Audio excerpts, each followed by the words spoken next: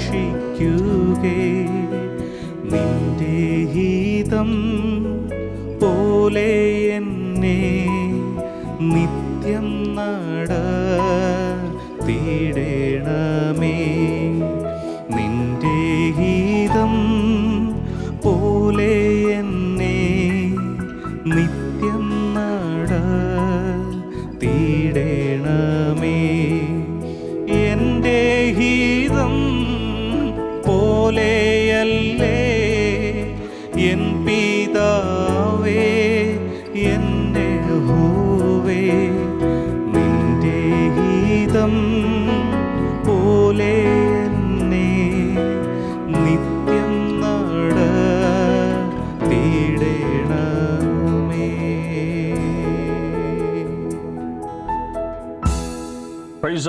കർത്താവിന്റെ പരിശുദ്ധ നാമം ഈ അനുഗ്രഹിക്കപ്പെട്ട പകലിൽ വാഴ്ത്തപ്പെടുമാറാകട്ടെ. നമുക്ക് ഒരുമിച്ച് വീണ്ടും ദൈവ സന്നിധിയിലായിരിക്കാൻ ദൈവം ഒരുക്കി തന്ന നല്ല സമയത്തിനായി സ്തോത്രം ചെയ്യുന്നു. അതിരാവിലെ തിരുസന്നിധിയിൽ നിന്ന് ശുശ്രൂഷയ്ക്ക് ശേഷം വീണ്ടും ദൈവവചനവുമായി ഒരു ചെറിയ ധ്യാനത്തിനായിട്ട് അനുഗ്രഹിക്കപ്പെട്ട ഈ ശുശ്രൂഷയിൽ നമുക്ക് ആയിരിക്കാൻ ദൈവം ചെയ്ത കൃപ എത്ര വലുതാണ്. ദൈവം നമ്മളെ അത്ഭുതകരമായി നടത്തുന്നു. ദൈവം നമ്മളെ പരിപാലിക്കുന്നു. കർത്താവിന്റെ എല്ലാ വിശ്വസ്തതയും ഓർത്ത് ഇന്ന് പകലിൽ നമുക്ക് ഒത്തിരി ദൈവത്തിന് മഹത്വം കരയറ്റുവാനുണ്ട്. നമ്മളെക്കാൾ എത്രയോ ആരോഗ്യമുള്ളവർ എത്രയോ കഴിവുകളുള്ളവർ അവരൊക്കെ കഴിഞ്ഞ രാത്രി വിശ്രമിക്കുവാൻ കടന്നു. അവരിൽ പലരും ഈ പ്രഭാതം കാണുവാൻ കഴിയാതെ ലോകത്തിൽ നിന്നൊക്കെ നിത്യതയുടെ തുറമുഖത്തേക്ക് മാറ്റപ്പെട്ടപ്പോൾ നമുക്ക് വീണ്ടും ഒരു പ്രാവശ്യം കൂടെ ജീവനുള്ളവരുടെ ദേശത്ത് ശേഷിച്ചിരുന്ന് കർത്താവിനെ ഒന്നുകൂടെ മഹത്വപ്പെടുത്തുവാൻ ദൈവം തന്ന ഒരു നല്ല അവസരമാണ്. അതുകൊണ്ട് തന്നെ വളരെ നന്ദിയുള്ള ഒരു ഹൃദയത്തോടെ നമുക്ക് ദൈവപാദപീഠത്തിലായിരിക്കാം. എല്ലാ ദിവസവും ഈ ഒരു ശുശ്രൂഷയിൽ ദൈവദാസന്മാർ മാറി മാറി അനുഗ്രഹിക്കപ്പെട്ടതായ എന്തെങ്കിലും ഒരു ചെറിയ ചിന്ത നമ്മുടെ മുൻപോട്ടുള്ള ഇന്നത്തെ ദിവസത്തിന് നമ്മളെ സഹായിക്കുന്ന പ്രോത്സാഹിപ്പിക്കുന്ന ഒരു ചെറിയ ചിന്ത പങ്കുവെക്കാറുണ്ടല്ലോ. ആ നിലയിൽ ഇന്ന് പകൽ നിങ്ങളോടൊപ്പം പങ്കുവയ്ക്കുവാൻ ദൈവം എനിക്ക് തന്ന വചനം ഉൽപ്പത്തി പുസ്തകം ഇരുപതാം അധ്യായം അതിന്റെ എട്ടാമത്തെ വാക്യമാണ്. ഉൽപ്പത്തി പുസ്തകം ഇരുപതാം അധ്യായം അതിന്റെ എട്ടാമത്തെ വാക്യം ഞാൻ നിങ്ങളുടെ ശ്രദ്ധയിൽ കൊണ്ടുവരുന്നു. അഭിമലേക്ക് അതികാലത്ത് എഴുന്നേറ്റ് തന്റെ സകല ഭൃത്യന്മാരെയും വരുത്തി ഈ കാര്യമൊക്കെയും അവരോട് പറഞ്ഞു. അവർ ഏറ്റവും ഭയപ്പെട്ടു. വളരെ സുപരിചിതമായ ഒരു വേദഭാഗമാണ് നാം വായിച്ചത്. അബ്രഹാമിന്റെ യാത്രയുടെ നടുവിൽ സംഭവിക്കുന്ന ഒരു കാര്യം.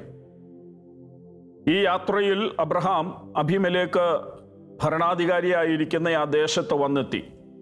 വന്നെത്തിയപ്പോൾ തന്റെ ഉള്ളിലൊരു ഭയം കയറാൻ തുടങ്ങി. ആ ഭയം മറ്റൊന്നുമല്ല തന്റെ ഭാര്യയായ സാറ ആ സഹോദരി അല്ലെങ്കിൽ തന്റെ ഭാര്യ വളരെ മനോഹരിയായി സുന്ദരിയായ ഒരു സ്ത്രീ ആയതുകൊണ്ട് തന്നെ അവിടുത്തെ ദേശക്കാർ അവളെ പിടിച്ചുകൊണ്ട് പോകും എന്നുള്ള ഒരു ഭയം അബ്രഹാമിന്റെ അകത്തു വന്നു. ഇത് ഇതിനു മുൻപും പന്ത്രണ്ടാം അധ്യായത്തിൽ അബ്രഹാമിന് സംഭവിച്ചിട്ടുണ്ട്. മിശ്രൈം ദേശത്ത് വെച്ചും ഇതുപോലെ തന്നെ സംഭവിച്ചത് നമുക്കറിയാം. എന്നാൽ വീണ്ടും അതേ ആവർത്തി ഇവിടെ സംഭവിക്കുക. അപ്പൊ ഈ ദേശത്ത് വന്നപ്പോൾ അബ്രഹാമിന് ഉള്ളിൽ ഒരു ഭയം കയറി. അബ്രഹാം ഭയപ്പെട്ടതുപോലെ തന്നെ സംഭവിച്ചു. ഞാൻ ആ ഭാഗം ഇങ്ങനെ ചിന്തിക്കുമ്പോൾ എന്റെ മനസ്സിൽ കൂടെ വരുന്ന ഒരു വാക്യമുണ്ട്. യോബിന്റെ പുസ്തകത്തിൽ ഒരു വാക്യമുണ്ട്. ഞാൻ ഭയപ്പെട്ടത് തന്നെ എനിക്ക് വന്നു ഭവിച്ചു എന്ന് ഇയോബ് പറയുന്ന ഒരു കാര്യമുണ്ട്. അങ്ങനെയെങ്കിൽ ഇന്ന് പകൽ ഞാൻ പ്രാരംഭമായി പ്രിയപ്പെട്ടവരോട് ഒരു കാര്യം പറയാം. നമ്മൾ ആവശ്യമില്ലാത്ത ഭയം നമ്മുടെ അകത്ത് വെച്ചുകൊണ്ട് ഇന്നത്തെ ദിവസം മുൻപോട്ട് നീങ്ങാൻ ചിന്തിച്ചാൽ നമ്മൾ എന്ത് ഭയപ്പെടുന്നുവോ അതായിരിക്കും നമുക്ക് വന്ന് നമ്മളെ എതിരേൽക്കുന്നത്. ഇന്ന് പകൽ ആ ഭയങ്ങളൊക്കെ നമുക്കൊന്ന് പുറത്തോട്ട് മാറ്റാം. നമ്മുടെ കൂടെ ദൈവമുണ്ട് ഈ യാത്രയിൽ എന്നുള്ള ഉറപ്പിൽ വേണം നമ്മൾ മുൻപോട്ട് പോകുവാൻ. ഭയം വെച്ചുകൊണ്ടല്ല നമ്മൾ മുൻപോട്ട് പോകുവാൻ ദൈവം ആഗ്രഹിക്കുന്നത്. ശരിയായിരിക്കാം ലോകത്തിൽ നമ്മളെ ഭയപ്പെടുത്തുന്ന വിഷയങ്ങളൊക്കെ നേരിടാനായിരിക്കാം നമ്മൾ അടുത്ത ചുവട് ഇന്നത്തെ ദിവസം എടുത്ത് വെക്കാൻ പോകുന്നത്. ചിലപ്പോൾ വലിയ വിഷയങ്ങളുടെ നടുവിലേക്ക് ആർക്കും പരിഹരിച്ച് പരിഹരിക്കുവാനോ ആർക്കും സഹായിക്കുവാൻ കഴിയാത്ത ചില വിഷയങ്ങളായിരിക്കാം ഇന്നത്തെ ദിവസം നേരിടാൻ പോകുന്നത്. അപ്പം അതിന്റെയൊക്കെ ഭയം നമ്മളെ അലട്ടുന്നുണ്ടായിരിക്കാം. എന്നാൽ ഇന്ന് പകൽ ദൈവകരങ്ങളൊന്ന് ഏൽപ്പിച്ചു കൊടുത്തിട്ട് നമുക്ക് പറയുവാൻ കഴിയണം. എന്റെ ഭാവി നിർണയിക്കുന്നത് ദൈവമാണ്. എന്നെ നടത്തുന്നത് ദൈവമാണ്. അതുകൊണ്ട് തന്നെ ഇന്നത്തെ എന്റെ യാത്രയിൽ എനിക്ക് വേണ്ടതെല്ലാം ദൈവം നൽകിത്തരുമെന്നുള്ള ആ ഉറപ്പ് നമ്മുടെ അകത്ത് വരട്ടെ. ആ നിശ്ചയം നമ്മുടെ അകത്ത് വരട്ടെ. ആ ധൈര്യത്തോടെ വേണം നമ്മുടെ ഇന്നത്തെ യാത്ര മുൻപോട്ട് പോകാൻ. ഞാൻ വിഷയത്തിലേക്ക് മടങ്ങി വരട്ടെ. അപ്പൊ അബ്രഹാം ഭയപ്പെട്ടു. അത് അതുപോലെ സംഭവിച്ചു. ആ ദേശത്തുള്ളവർ വന്ന് സാറായെ പിടിച്ചുകൊണ്ട് പോയി അഭിമലേഖിന്റെ മുൻപിൽ കൊണ്ടുപോയി എത്തിച്ചു. എന്നാൽ ഈ സാറായെ പിടിച്ചുകൊണ്ട് പോയി കഴിഞ്ഞപ്പോൾ എന്റെ ഒരു മനസ്സിലെ ചിന്ത ഞാൻ പറയുകയാണ് പുസ്തകത്തിൽ അവിടെ അങ്ങനെ എഴുതിയിട്ടില്ലെങ്കിലും സ്വാഭാവികമായി സാധാരണഗതിയിൽ നടക്കാൻ സാധ്യതയുള്ള ഒരു കാര്യം ഞാൻ പറയാം. അബ്രഹാം അന്നേരം മുതൽ പ്രാർത്ഥിച്ചു തുടങ്ങിക്കാണും ദൈവമേ സാറായിക്ക് ഒന്നും സംഭവിക്കല്ലേ എന്ന്. സാറായിക്ക് ഒന്നും സംഭവിക്കല്ലേ എന്നുള്ള അബ്രഹാമിന്റെ പ്രാർത്ഥന. ഞാൻ പറഞ്ഞല്ലോ അത് പുസ്തകത്തിൽ അവിടെ എഴുതിയിട്ടില്ല പക്ഷേ എന്റെ ഒരു ചിന്തയാണ് അത് അങ്ങനെ ആയിരിക്കാം. എന്നാൽ ആ പ്രാർത്ഥനയുടെ മറുപടി എന്നവണ്ണം ആയിരിക്കണം. എന്താ സംഭവിച്ചത് നമുക്ക് നോക്കാം. ആ ഇരുപതാം അധ്യായത്തിന്റെ തന്നെ മൂന്നാം വാക്യം നമുക്ക് നോക്കാം. മൂന്നാം വാക്യം. എന്നാൽ രാത്രിയിൽ ദൈവം സ്വപ്നത്തിൽ അഭിമലേഖിന്റെ അടുക്കൽ വന്ന് അവനോട് നീ എടുത്ത സ്ത്രീ നിമിത്തം നീ മരിക്കും. അവൾ ഒരു പുരുഷന്റെ ഭാര്യ എന്ന് അരുളി ചെയ്തു. അപ്പൊ നോക്കണം അബ്രഹാമിന്റെ പ്രാർത്ഥനയുടെ മറുപടി ആയിരിക്കാം. ദൈവം സ്വപ്നത്തിൽ അഭിമലേഖനോട് ഇടപെട്ടു. ഈ സാറായെ തൊടാൻ പാടില്ല എന്നുള്ളതാണ് ദൈവം പറഞ്ഞതിന്റെ സാരം. കാരണം അവൾ ഒരു പുരുഷന്റെ ഭാര്യയാണ്. ഇപ്പം അബ്രഹാമിന്റെ പെങ്ങളാണ് സാറ എന്ന് പറഞ്ഞതുകൊണ്ടാണ് ഇവരിങ്ങനെ പിടിച്ചുകൊണ്ട് പോയതും. ഇനി അല്ല ഭാര്യ ആയിരുന്നെന്ന് പറഞ്ഞിരുന്നെങ്കിൽ അബ്രഹാമിന്റെ ഭയം എന്തായിരുന്നെന്ന് ചോദിച്ചാൽ അബ്രഹാമിനെ അവർ കൊല്ലും. കൊന്നേച്ച് സാറായെ കൊണ്ടുപോകും. കാരണം അബ്രഹാം ഭർത്താവായതുകൊണ്ട് ഇനി ഭർത്താവ് ഇരിക്കുമ്പോൾ കൊണ്ടുപോകുന്നത് ശരിയല്ലല്ലോ എന്ന് കണ്ട് അബ്രഹാമിനെ കൊല്ലും. അപ്പൊ അതിൽ നിന്ന് രക്ഷപ്പെടാനാണ് അബ്രഹാം ഈ ഒരു പ്രവൃത്തി ഇങ്ങനെ ചെയ്തത്. ഈ ബുദ്ധിയിലേക്ക് പോയത്. എന്തായാലും ശരി ദൈവം ഇടപെട്ടു. ദൈവം ഇടപെട്ടിട്ട് പറഞ്ഞു അവൾ ഒരു പുരുഷന്റെ ഭാര്യ. അതുകൊണ്ട് അവളെ തുടരുത് എന്നുള്ള നിലയിലുള്ള ഒരു വിലക്കാണ് ദൈവം കൽപ്പിച്ചത്. വിലക്കെന്ന് മാത്രമല്ല ദൈവം ഒരു ഒരു മുന്നറിയിപ്പ് കൊടുത്തു. അവളെ തൊട്ടാൽ ദൈവം അഭിമലേഖനെ തൊടും എന്നുള്ള നിലയിൽ അല്ലെങ്കിൽ അഭിമലേഖനോട് പറഞ്ഞു നീ മരിക്കും എന്ന് പറഞ്ഞു. അപ്പൊ അഭിമലേഖന് മുൻപിൽ ഒരു മരണത്തിന്റെ മുന്നറിയിപ്പാണ് ദൈവം കൊടുത്തത് സാറായെ തൊട്ടാൽ. അപ്പൊ ദൈവത്തിന്റെ കരുതൽ ഒന്ന് നോക്കണമേ. അബ്രഹാം ദൈവത്തെ വിശ്വസിക്കാതെ തന്റെ സ്വന്തം ബുദ്ധിയിൽ ആശ്രയിച്ച് ചെയ്തു പോയ തെറ്റാ. പക്ഷേ എന്നിട്ടും ദൈവം അബ്രഹാമിനോട് കരുണ കാണിച്ചു. സാറായെ തൊടാൻ അഭിമലേഖനെ ദൈവം അനുവദിച്ചില്ല. ഇന്ന് ഇന്ന പകൽ ഞാൻ പ്രിയപ്പെട്ടവരോട് ഇങ്ങനെ പറയാം. ദൈവം അനുവദിക്കാതെ നമ്മളെ ആർക്കും തൊടാൻ കഴിയത്തില്ല. ഇന്നത്തെ ജീവിതയാത്രയിൽ ആരൊക്കെ നിങ്ങൾക്കെതിരെ എന്തു വെല്ലുവിളിയുമായിട്ട് വന്നാലും ശരി എന്തു വിഷയം നിങ്ങളെ വെല്ലുവിളിച്ചുകൊണ്ട് വന്നാലും ഒരു കാര്യം നിങ്ങൾ ഉറപ്പ് വരുത്തിക്കണം. ദൈവം അനുവദിക്കാതെ ആർക്കും നിങ്ങളെ തൊടുവാൻ കഴിയത്തില്ല. ഒരു വിഷയത്തിനും നിങ്ങളെ തൊടുവാൻ കഴിയത്തില്ല. അത് രോഗമായിക്കൊള്ളട്ടെ കടഭാരമായിക്കൊള്ളട്ടെ എന്ത് വിഷയമായിക്കൊള്ളട്ടെ കുഞ്ഞുങ്ങളുടെ വിഷയമായിക്കൊള്ളട്ടെ എന്തുമായിക്കൊള്ളട്ടെ ഇതിനൊന്നും നിങ്ങളെ തൊടുവാൻ ദൈവം അനുവദിക്കാതെ പറ്റത്തില്ല. പിന്നെ ചില സമയങ്ങളിൽ ദൈവം അനുവദിക്കും. അത് എന്തിനാന്ന് ചോദിച്ചാൽ നമ്മളെ ദൈവത്തിന്റെ ശിക്ഷണത്തിൽ കൊണ്ടുവരുവാൻ വേണ്ടിയൊക്കെ ചില സമയങ്ങളിൽ ചിലതൊക്കെ ദൈവം അനുവദിക്കും. എന്നാൽ എന്റെ വിഷയം നമ്മൾ ഈ ആവശ്യമില്ലാത്ത ഭയം എടുക്കേണ്ട കാര്യമില്ല. കാരണം ദൈവമാണ് നമ്മളെ സംരക്ഷിക്കുന്നത് ദൈവമാണ് നമ്മളെ സൂക്ഷിക്കുന്നത്. അപ്പൊ എന്തായാലും ശരി സാറായെ പ്രത്യേകമായി സംരക്ഷിക്കുവാൻ ദൈവം അതിനകത്ത് കയറി ഇടപെട്ടു. ദൈവം ഇടപെട്ടിട്ട് അഭിമലേഖനോട് പറഞ്ഞു അവളെ തുടരുത് എന്ന് പറഞ്ഞു. ഞാൻ എന്റെ ഒരു ശൈലിയിൽ ഇങ്ങനെ പറയാം. ദൈവം അങ്ങനെ ഈ പദം അങ്ങനെ പറഞ്ഞില്ലെങ്കിൽ ആശയം ഞാൻ പറയുക. ദൈവം പറഞ്ഞതിന്റെ സാരം നീ സാറായെ തൊട്ടാൽ ഞാൻ നിന്നെ തട്ടും. ഇതാണ് ദൈവം പറഞ്ഞതിന്റെ സാരം. എന്ന് പറഞ്ഞാൽ നീ മരിക്കുമെന്നാണ് ദൈവം പറഞ്ഞത്. അപ്പം പറഞ്ഞതിന് സാരം നീ തൊട്ടാൽ നീ അവളെ തൊട്ടാൽ ഞാൻ നിന്നെ തട്ടും. എന്നുള്ള രീതിയിലാണ് അവിടുത്തെ ആശയം പോകുന്നത്. അപ്പോൾ എന്തായാലും ശരി ഏതായാലും അഭിമലേക്ക് ഇതെല്ലാം കേട്ട് കഴിഞ്ഞപ്പോൾ ആകപ്പാടെ വല്ലാതെ ഭയപരവശനായി. താൻ ഭയപ്പെട്ടു പോയി. അവിടെ താഴോട്ട് പിന്നെ നിങ്ങൾ ആ ഭാഗമൊക്കെ വായിക്കുമ്പോൾ അന്ന് രാത്രി അഭിമലേഖന് പിന്നെ രാത്രിയിൽ സ്വസ്ഥതയൊന്നുമില്ല. അത് കഴിഞ്ഞ് അടുത്ത ദിവസം സംഭവിക്കുന്ന കാര്യമാണ്. താൻ ഈ കാര്യത്തിൽ ആകപ്പാടെ വല്ലാതെ വിഷമിച്ചിട്ട് ചെയ്യുന്ന കാര്യമാണ്. എട്ടാമത്തെ വാക്യത്തിൽ നമ്മൾ മുമ്പേ കുറിവാക്യമായി വായിച്ചത്. എന്താ വായിച്ചത്? അഭിമലേക്ക് അതികാലത്തെ എഴുന്നേറ്റ് തന്റെ സകല ഭൃത്യന്മാരെയും വരുത്തി ഈ കാര്യമൊക്കെയും അവരോട് പറഞ്ഞു. അവർ ഏറ്റവും ഭയപ്പെട്ടു. അപ്പം അഭിമലേക്ക് ഇവർ ഇത്രയും ഭയപ്പെട്ടെങ്കിൽ നിശ്ചയമായിട്ടും അഭിമലേക്കും ഭയപ്പെട്ടിട്ടുണ്ട്. എന്തായാലും ശരി അഭിമലേക്ക് രാത്രിയിൽ ദൈവത്തിന്റെ ഇടപെടലിന് കാരണം ഇടപെടലിന് ശേഷം അഭിമലേക്ക് തീരുമാനമെടുത്തു. ഇല്ല ഞാൻ അവളെ തൊടത്തില്ല. മാത്രമല്ല ഞാൻ അവളെ മടക്കി കൊടുക്കും. ഇനി വെറുതെ ഇവളെ കൊണ്ടുപോയി മടക്കി കൊടുക്കുകയുമല്ല അബ്രഹാമിന് വേണ്ടതൊക്കെ കൊടുത്ത് അവരെ സന്തോഷത്തോടെ വിടും എന്ന് തീരുമാനിച്ചു. ഞാൻ എന്റെ സന്ദേശത്തിന്റെ പ്രധാന ഭാഗത്തേക്ക് വരികയാണ്. പ്രിയരെ ഇന്ന് ഇന്നത്തെ ദിവസം നിങ്ങൾക്കെതിരെ ശത്രു എന്തെല്ലാം കെണി ഒരുക്കി വെച്ചിട്ടുണ്ടെങ്കിലും ശത്രുവിന്റെ പദ്ധതികൾ എന്തെല്ലാം അവൻ കരുതി വെച്ചിട്ടുണ്ടെങ്കിലും ഞാൻ ഇന്ന് പകൽ നിങ്ങളോടൊരു കാര്യം പറയാം. ഈ വചനത്തിന്റെ അടിസ്ഥാനത്തിൽ ഞാൻ നിങ്ങൾക്കൊരു ഉറപ്പ് തരാം. ദൈവം നിങ്ങളുടെ വിഷയത്തിനു വേണ്ടി ഇറങ്ങി ഇടപെട്ടാൽ ശത്രുവിന് നിങ്ങളെ തൊടുവാൻ കഴിയത്തില്ലെന്ന് മാത്രമല്ല നിങ്ങളുടെ നന്മയെ എവിടെ ശത്രു ഇന്നത്തെ ദിവസത്തേക്ക് വേണ്ടി തടഞ്ഞു വെച്ചിട്ടുണ്ടോ അതിനെ ഇന്ന് പകൽ ദൈവം അത് റിലീസ് ചെയ്ത് നിങ്ങൾക്ക് വേണ്ടി അത് വിട്ടു തരുവാനായിട്ട് കൽപ്പിക്കുവാൻ പോകുകയാണ്. പകൽ വിശ്വസിക്കാൻ പറ്റുമോ? നാളുകളായി തടഞ്ഞു വെച്ചിരിക്കുന്ന ചില നന്മകൾ എവിടെയൊക്കെയോ കിട്ടേണ്ടിയ ചില നന്മകൾ എന്നോ എന്നെ അനുഭവിക്കേണ്ടിയ ചില നന്മകൾ ഇതുവരെയും അനുഭവിക്കുവാൻ കഴിയാതെ എവിടെയോ തടഞ്ഞു വച്ചിരിക്കുകയാണ്. പക്ഷേ അത് റിലീസാകിയത് എപ്പോഴാണെന്ന് നിങ്ങൾ നോ ഓർക്കണം. ഞാൻ മുമ്പേ പറഞ്ഞ പോലെ പുസ്തകത്തിലില്ലെങ്കിലും ഞാൻ പറയാം അബ്രഹാമിന്റെ രാത്രിയിലത്തെ ഒരു പ്രാർത്ഥനയാണ്. കഴിഞ്ഞ രാത്രി ഒരു പക്ഷെങ്കിൽ നീറുന്ന ഹൃദയത്തോടെ പ്രാർത്ഥിച്ച ചിലരായിരിക്കാം ഇന്ന് പകൽ ഈ ശുശ്രൂഷയുടെ മുൻപിൽ ഇരിക്കുന്നത്. ഞാൻ നിങ്ങൾക്കൊരു ഉറപ്പ് തരാം.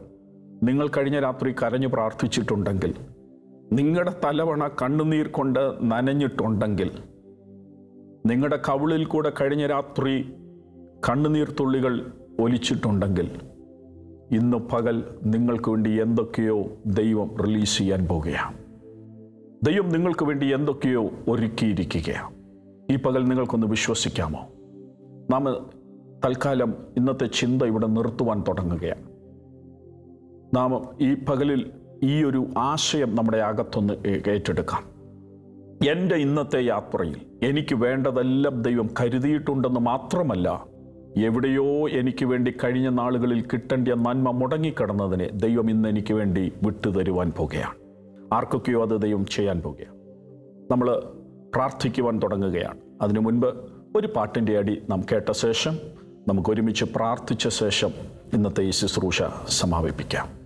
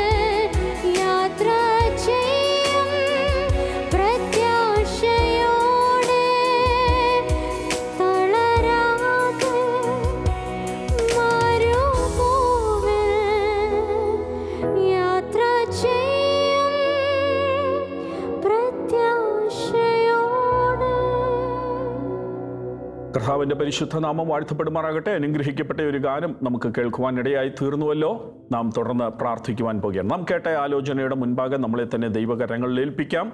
ഇന്നത്തെ നമ്മുടെ യാത്രയിൽ നമുക്ക് വരേണ്ട നന്മ എങ്ങും തടയപ്പെടാതിരിക്കുവാൻ ചിലത് നാം ഒത്തിരി നാളുകളായി കാത്തുകൊണ്ടിരുന്നത് നാം ഒത്തിരി നാളായി പ്രതീക്ഷിച്ചു കൊണ്ടിരുന്നത്. എന്തൊക്കെയോ ദൈവം ഇന്ന് പകൽ നമുക്ക് വേണ്ടി തുറന്നു വിടുവാൻ പോകുകയാണ്. അത് വിശ്വസിക്കുന്നവർ ഇന്ന് പകൽ എന്നോടൊപ്പം പ്രാർത്ഥിച്ചാട്ടെ നമ്മൾ ഒരുമിച്ച് പ്രാർത്ഥിക്കുവാൻ പോകുകയാണ് കണ്ണുകളെ ദൈവസന്നിധിയിൽ നമുക്ക് അടയ്ക്കാം. പരിശുദ്ധനായ ഞങ്ങളുടെ ദൈവമേ സ്വർഗീയ പിതാവേ ഈ പകലിൽ ഞങ്ങൾ നന്ദിയുള്ള ഹൃദയത്തോടെ അങ്ങ് സ്തുതിക്കുന്നു. കർത്താവേ ഞങ്ങൾ കേട്ട വചനത്തിന്റെ മുൻപാകെ ഞങ്ങളെ തന്നെ തൃക്കരങ്ങളിലേക്ക് ഏൽപ്പിക്കുന്നു. എവിടെയൊക്കെയോ ഞങ്ങൾക്ക് വേണ്ടി തടയപ്പെട്ട ചില നന്മകൾ. ഞങ്ങൾ ചിന്തിച്ച വേദഭാഗം അനുസരിച്ചാണെങ്കിൽ ശത്രു പിടിച്ചുകൊണ്ടുപോയ ചില നന്മകൾ. ഞങ്ങൾ അനുഭവിക്കേണ്ടത് ചിലത് അവന്റെ കയ്യിലിരിക്കുന്നതിനെ. ഇന്ന് പകൽ കർത്താവ് ഞങ്ങൾക്ക് വേണ്ടി റിലീസ് ചെയ്യുവാൻ പോകുന്നതിനായി സ്തോത്രം. അത് ഞങ്ങൾക്ക് വേണ്ടി വിടുവിച്ച് തരുവാൻ പോകുന്നതിനായി സ്തോത്രം. നിങ്ങളുടെ ജനത്തെ അവിടുത്തെ കരങ്ങളിലേക്ക് ഏൽപ്പിക്കുന്നു. മുടങ്ങിക്കിടക്കുന്ന തടഞ്ഞു കിടക്കുന്ന അനുഭവിക്കുവാൻ കഴിയാതെ കയ്യിൽ വരണ്ടിയ നന്മകൾ അനുഭവിക്കുവാൻ ഇന്നത്തെ ദിവസം അങ്ങയുടെ ജനത്തിനു വേണ്ടി അത് തുറന്നു വിടുവാനായി അവരെ ദൈവകരങ്ങളിലേക്ക് ഏൽപ്പിച്ച് അങ്ങയുടെ നാമത്തിൽ അടിയനവരെ അനുഗ്രഹിക്കുന്നു കർത്താവെ. ഈ ദിവസത്തെ അവരുടെ യാത്ര കർത്താവിനോട് കൂടെയുള്ള യാത്ര ചില നന്മകൾ അനുഭവിക്കുന്ന ഒരു ദിവസമായി തീരട്ടെ എന്ന് ആത്മാർത്ഥമായി പ്രാർത്ഥിച്ചവരെ അനുഗ്രഹിക്കുന്നു. ഒരു ശുഭ ദിവസം ഇന്നത്തെ ദിവസം ദൈവം അവർക്ക് നൽകിക്കൊടുത്തു അവരുടെ എല്ലാ വഴികളിലും കർത്താവിന്റെ ആലോചനയാൽ കർത്താവിന്റെ കരുതലും കാവലും അവർക്ക് നൽകി. തുടർന്നും ദൈവം അവരെ മാനിച്ച് അനുഗ്രഹിക്കണമേ. എല്ലാ നന്മകളാലും നടത്തണമേ. ഒരിക്കൽ കൂടെ തൃക്കരങ്ങളിലേക്ക് കൈമാറുന്നു കർത്താവെ. കൃപയിൽ അവരെ മറയ്ക്കണം. യേശു ക്രിസ്തുവിന്റെ വിലയേറിയ നാമത്തിൽ തന്നെ ആ മേൻ ആ മേൻ ആ മേൻ ദൈവം നിങ്ങളെ അനുഗ്രഹിക്കട്ടെ. കർത്താവ് നിങ്ങളുടെ കൂടെയുണ്ട്. നിങ്ങൾക്ക് വേണ്ടതെല്ലാം ദൈവം ഒരുക്കി വെച്ചിട്ടുണ്ട്. അതുകൊണ്ട് കർത്താവിൽ ചാരിക്കൊണ്ട് മുൻപോട്ട് യാത്ര ചെയ്യുക. ഒരു ശുഭദിനം നിങ്ങൾക്ക് വേണ്ടി നേരുന്നു. ദൈവം നിങ്ങളെ അനുഗ്രഹിക്കട്ടെ.